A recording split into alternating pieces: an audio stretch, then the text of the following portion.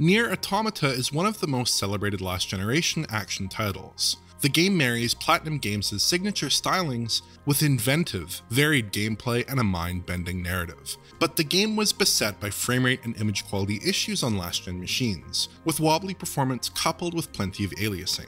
Which is why the game's just released Switch port came as a bit of a surprise when it was announced a few months ago. There's a huge performance gap between the Switch and even the base last gen consoles, and precious little room to cut resolution before image quality becomes unacceptably poor. This would seem like one of the so called impossible ports, a technically demanding title downscaled for Nintendo's hybrid console, often with somewhat mixed results. But with Switch porting specialists Virtuos at the helm, perhaps expectations should be set a little bit higher. So is this a mobile miracle or a portable pain?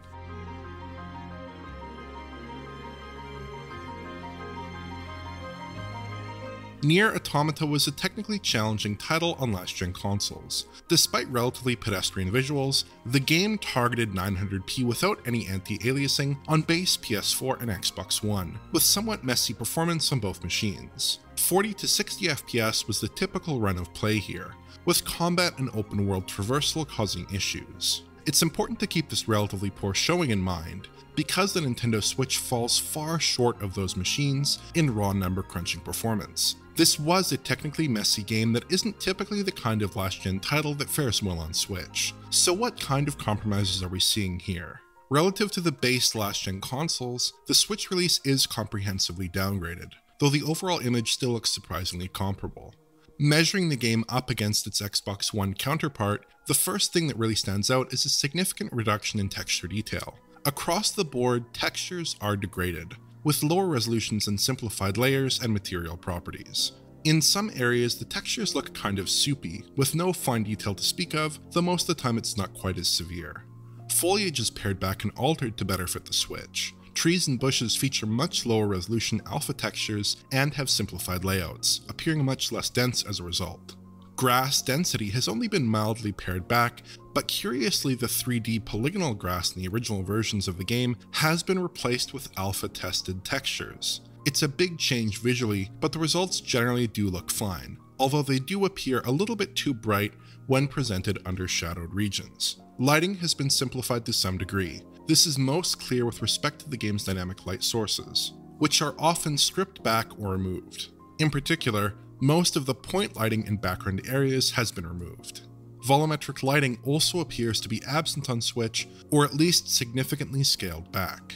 There are also some pretty significant differences in ambient lighting at times, though I have to imagine that tweaks to the global illumination system present on last gen consoles, or possibly its removal may be to blame. Most of the time, however, the two versions do look fairly similar in this regard. It's mostly the smaller scale details that seem to stand out when there are differences some of the geometric detail in the environments has been lost. This is occasionally quite obvious. These river rocks, for example, are much more numerous on last gen console.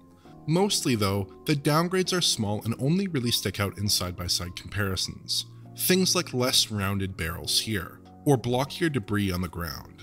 Particle effects are modestly scaled back as well.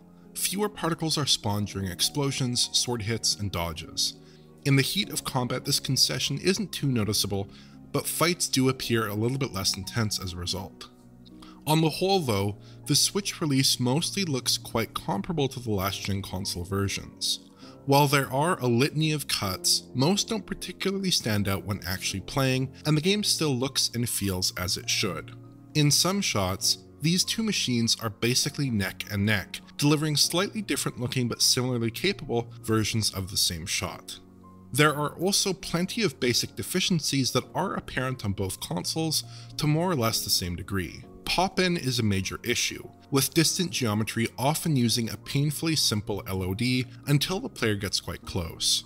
Across both platforms, the higher detail LODs popped in at about the same distances across my testing, and the simplified assets appeared to be identical. Shadow resolution is quite low on Xbox One as well, with blocky outlines only slightly mitigated by soft filtering. The Switch surprisingly fares about the same, with a comparable treatment of shadow detail.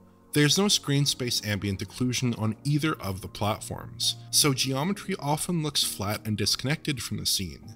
On Switch, this is perfectly understandable, but the same absence on Xbox One feels a little bit strange. There is one major settings advantage that the Switch release does have, however.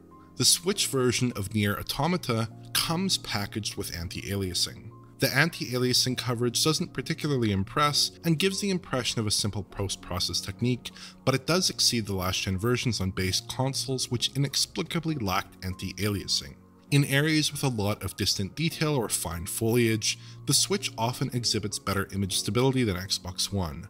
Some shots do look substantially softer though, which ultimately comes down to the Switch's resolution setup. In docked mode, the Switch aims for a 1080p resolution, which is actually higher than the last gen base consoles. Some shots do count a little bit below that figure, but in most screenshots with some form of countable detail, you can find 1080p edges. However, the resolve throughout any given shot does tend to vary quite a bit, especially during movement, and there are some stippling artifacts on certain edges, suggesting that a form of reconstruction may be in play.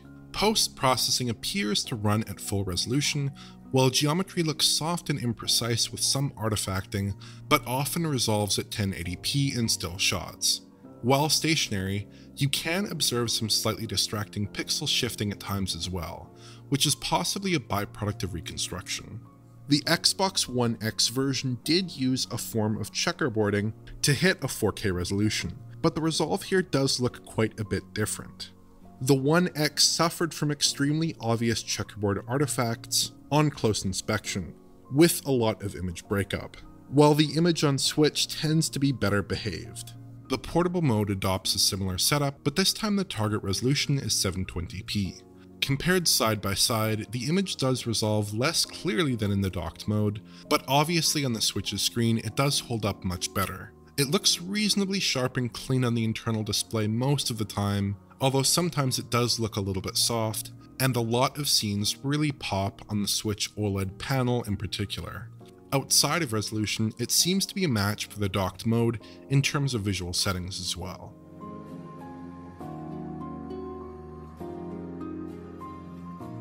So how does performance shake out? Virtuos has sensibly cut the framerate target here from 60 FPS on last gen home consoles to 30 FPS here, 60 FPS was a challenge on exponentially more capable hardware, so the reduced frame rate was probably inevitable. At first, I was very impressed with the performance level. Yes, this is a 30 FPS game, but it did feel remarkably consistent. Essentially a locked 30 FPS with stable frame pacing for the first hour or so of gameplay. I did notice a drop or two while playing, but these were very minor. My only issue at this point was the lack of any sort of motion blur which a 30 FPS action game with a lot of melee combat like this could really make good use of. The cutscenes, which are a mix of pre-encoded and real-time sequences, also play back perfectly well. But as I continued to play, the picture got less rosy. Small framerate hitches became more common, particularly when traversing sections of the open world and when fighting enemies. It was still quite consistent, but these small interruptions were definitely noticeable. When Automata drops frames, the frame rate cap momentarily doesn't work as it should, so you get a mix of 16, 33, and 50 millisecond frames instead of just 33 and 50 millisecond frames as would typically be the case. As I closed up my time with the Switch release of Nier Automata, however, more pronounced framerate issues became fairly common. Some of the larger fights mostly played out in sub 30 FPS territory, and hung in the low to mid 20s at worst, a handful of environments also caused extended framerate issues. I played the game for over a dozen hours, long enough to get past the sequence around the first ending, where some of the more taxing fights in the game are located. Overall, though, I do think that the performance level is reasonable, considering the hardware and the relatively strong quality of the visuals compared to last gen home consoles. 30 FPS is the norm, with momentary dips that don't detract too much from the experience. It's really the larger battles that can prove seriously problematic, though this is hardly representative of the majority of the action. Portable mode seems to quit itself about as well, with good performance overall with occasional sub 30 FPS moments. My impression is that the framerate level here is perhaps a little bit more consistent though, with fewer drops in general play.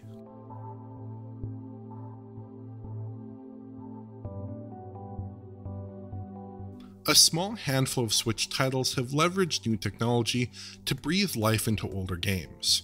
Alien Isolation, Metro 2033, and Metro Last Light are perhaps the best examples, with the addition of TAA arguably transforming them into the best looking console versions of those titles. New rendering techniques can indeed ratchet up image quality to the point where Switch releases can visually outperform much more powerful hardware. NieR Automata on Switch isn't quite at that level of quality, but the same principles still apply. The original releases of NieR Automata in 2017 and 2018 had a pretty basic rendering setup, with no reconstruction tricks or even anti-aliasing, at least on the base console platforms. But here we do have anti-aliasing, plus what seems to be a form of reconstruction, plus we get other custom tailored changes to the visuals, like the replacement of the polygonal grass. Clearly a lot of time and effort was invested into making this port shine. By leveraging new tech, Virtuos has reworked the game to the point where it looks similar to the Xbox One and PS4 versions of the game overall, and can even look a little bit better at times. Performance isn't perfect, but it is quite good, and it does manage to maintain a 30 FPS update through most gameplay. So the Switch port of NieR Automata is quite impressive. Smart visual concessions along with new rendering tech combine to create a modernized version of this game that manages to run perfectly well on the Switch's aging mobile hardware. Automata is a modern action classic that is well worth experiencing and Nintendo's hybrid console offers a smartly optimized reinterpretation that works great on the go. If you enjoyed this video, please like, subscribe, and press the bell for YouTube notifications. Check out the Patreon at digitalfoundry.net for exclusive and early access content, and to get in touch, just use Twitter. Thanks for watching.